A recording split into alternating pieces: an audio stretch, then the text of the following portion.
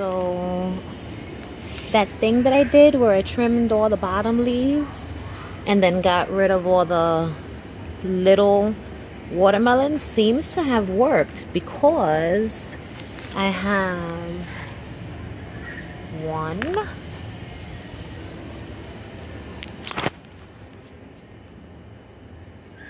Two.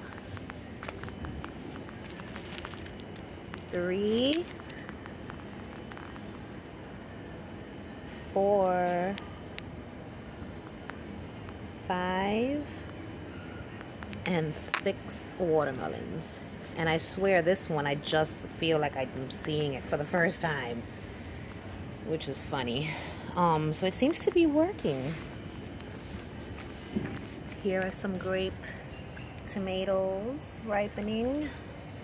This tomato plant seems to be struggling and the two tomato plants that I had here and there I moved them over there.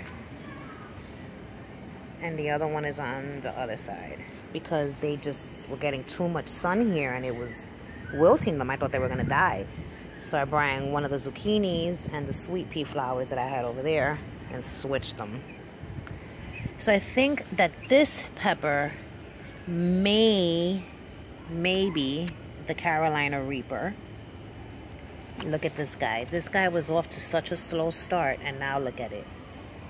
Flowers everywhere. Peppers to be everywhere. Got my first cucumber.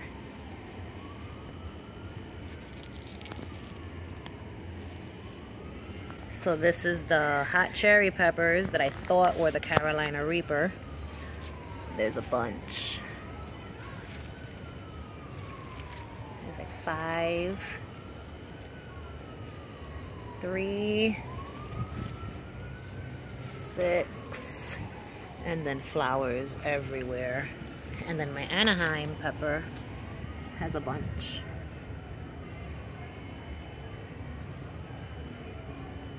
And on top, a lot of blooms to be my first green green bean. These plants are really struggling in here, which is shocking because they're in fresh compost. And so here's the first bean. I'm gonna pick it, see if it promotes more growth. They taste really good when they're little like this.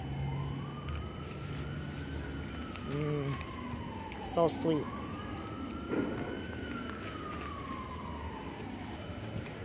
Here's some cucamelons.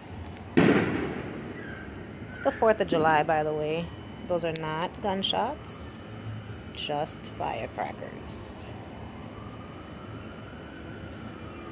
I ate one cucamelon already. I know it's time to pick them when they get just a little bit bigger than this. Look at how big it's gotten. So yesterday, this watermelon was about this size and this watermelon was a little smaller. Last night it rained and this thing like tripled in size overnight. It's amazing. This little guy is not doing much of anything. I might sacrifice it. But I'm gonna wait. This one's little. Here's a new guy. So they're everywhere, man. That's really exciting. Here's another one. So I think now there's seven. One, two, three, four, five, six. Yep, seven watermelons. The hummingbird feeder doesn't seem to be working. I haven't seen not one hummingbird. Ah, oh, the flower that would have been an eggplant fell off without having produced an eggplant. Ay, ay, ay. Oh, look. A pea which I think is going to have fully formed peas.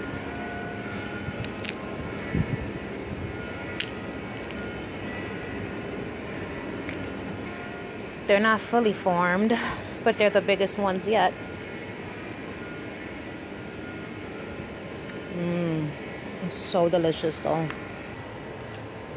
These are the Anaheim peppers.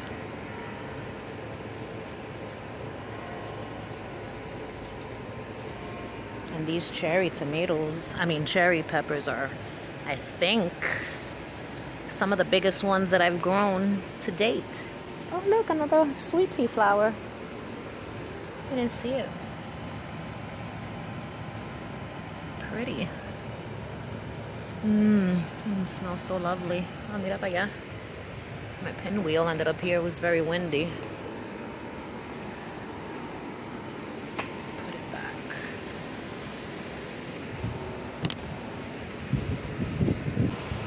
Stays on this time. Keeps flying off with the heavy winds. I harvested a cucamelon yesterday. I'm gonna wait to harvest this one when this one and this one get a little bit bigger.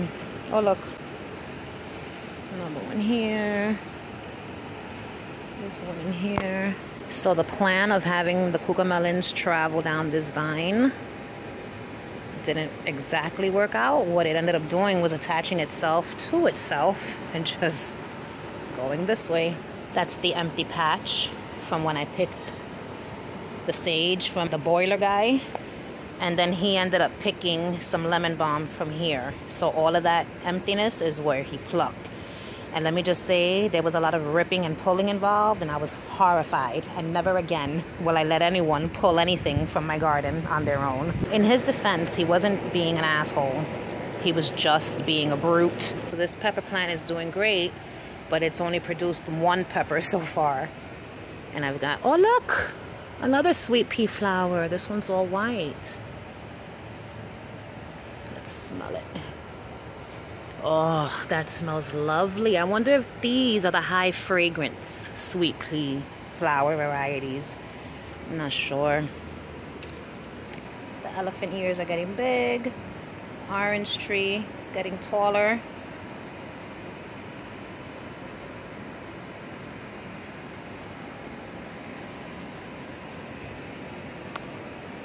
the milkweed made it past the fence. My poppies are on their last leg.